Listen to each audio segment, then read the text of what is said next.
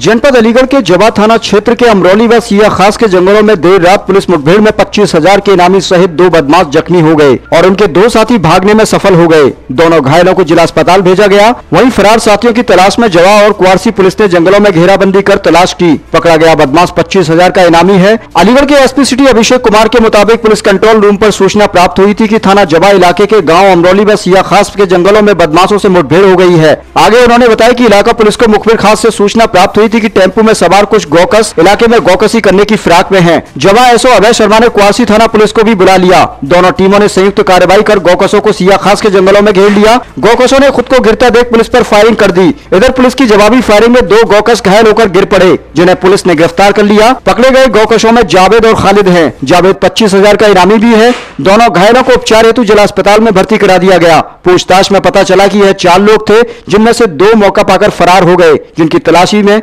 देर रात तक जंगलों में पुलिस ने कॉम्बिंग की। हालाँकि वह दोनों हाथ नहीं लगे। मौके से छुरे कुलाड़ी रस्से तमंचा व कारतूस मिले हैं। पास ही एक टेंपो भी मिला है। पकड़े गए गौकशों पर विभिन्न थानों में एक दर्जन से ज़्यादा मुकदमे दर्ज हैं। देखिए कुछ कंट्रोल रूम के माध्यम से अमरौली और मंगला पटवारी क्षेत्र की कुछ सूचना थी उन व्यक्तियों की। तो वहाँ पर जो है संबंधित चौकी इंचार्ज द्वारा कॉम्बिंग की गई। तो उसी में अमरौली क्षेत्र में जो है कुछ संदिग्ध व्यक्तियों द्वारा जो है पुलिस पर फायरिंग की गई। और उसी मुठभेड़ में जो दो व्यक्तियों को गोली लगी। इसका नाम जावेद और जाहिद है।